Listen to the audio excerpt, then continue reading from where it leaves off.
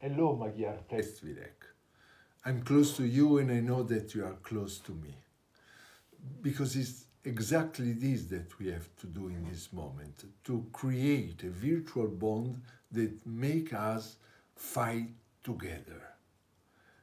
Because we have to remember more than ever that in this moment we are all brothers and never forget it. Because love and dreams are the most powerful uh, weapons we have.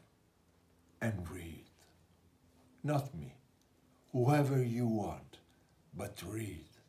Because reading can make us escape from our prison. Maradi Hoton. Ciao.